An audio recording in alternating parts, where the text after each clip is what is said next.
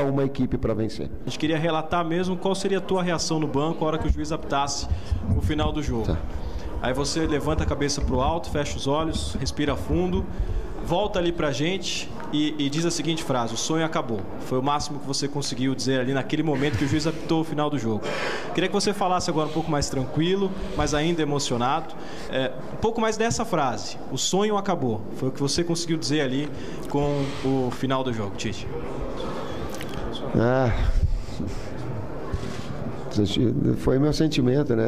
O sonho de permanecer numa grande equipe, com um grupo extraordinário. Né? Eu sou ser humano, eu, eu sinto também, né? É, é, tem, muita, é, tem que ter muita coragem para externar o sentimento que eu estou tendo. Não gostaria, gostaria até de sublimar de alguma forma aqui, mas é, é o meu jeito. Aflorou com um torcedor estando do lado, a minha esposa ouvindo durante o jogo o agradecimento do torcedor.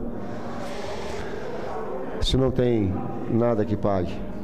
Foi por isso que eu, eu coloquei.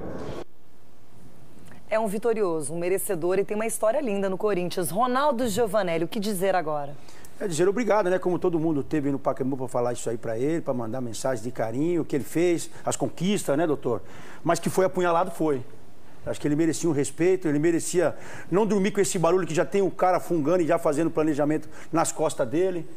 Eu acho que faltaram um pouco com respeito na atitude com o próprio Tite. É o meu pensamento. Muita gente acha que ele deveria sair, eu também acho que ele deveria sair, mas um carinho, com um trabalho com um cara que, que abdicou até da família, para ganhar os títulos que ganhou na história do clube, ele não merecia ser apunhalado, não.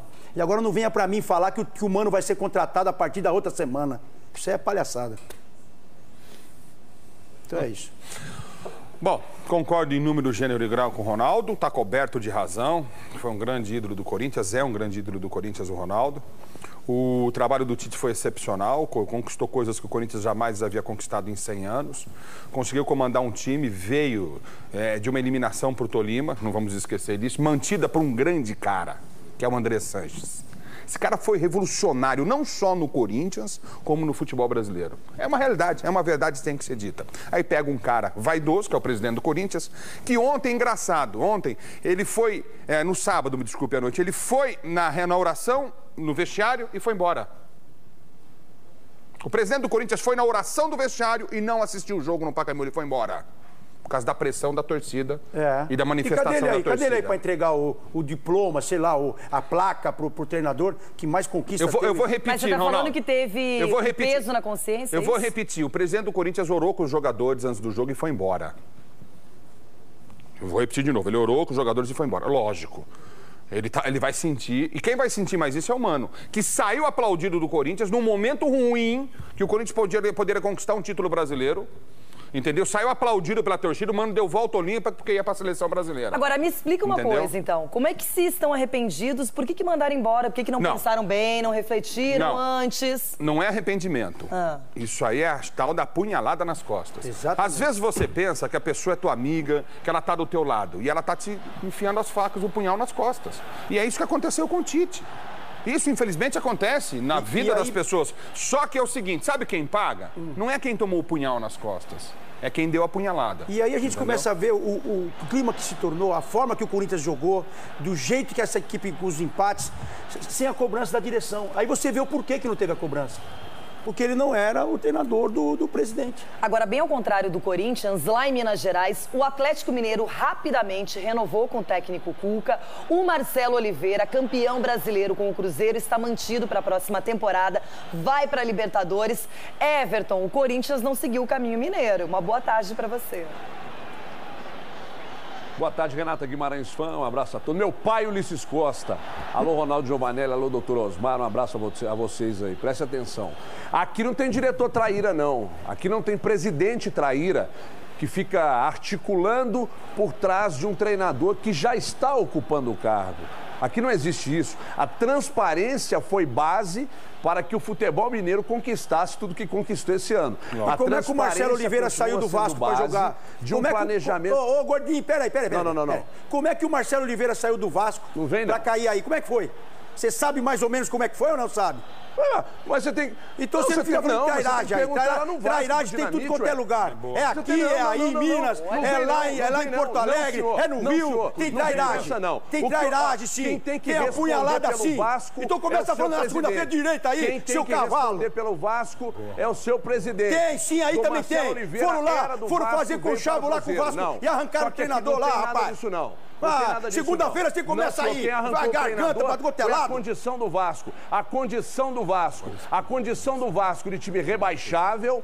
Né? O Vasco é um primor. Você está defendendo, então, que o Vasco é um primor de organização? Eu estou É que falando, tá então, o senhor- dizendo? o senhor não, o Vasco, então, é tão hoje de manhã. Eu estou falando que é no Rio, é em São Paulo, que que- é em Minas, onde com tudo quanto é lugar tem sacanagem.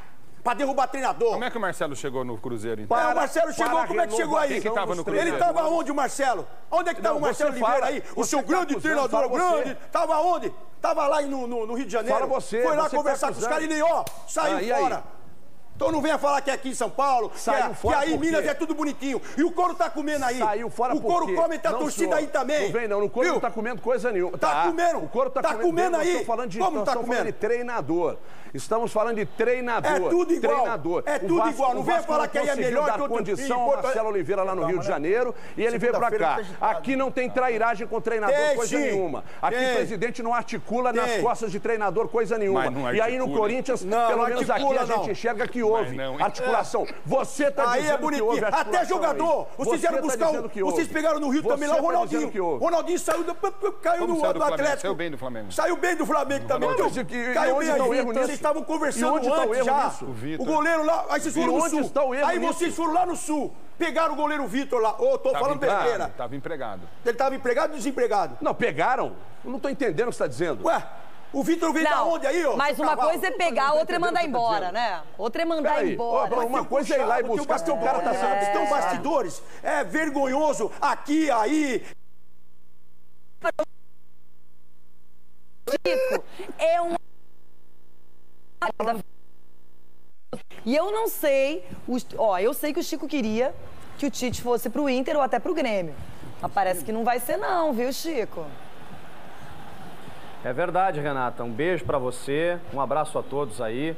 Obrigado, Renata, pela parceria aqui no Miss Rio Grande do Sul. E eu até queria dizer pra Vacilou, todos foi? vocês aí que se o futebol gaúcho não tá lá essas coisas de mulher bonita, esse Nossa. estado aqui entende e Oh. vocês sabem muito bem, né? Então, realmente, até queria falar só sobre Miss hoje, eu não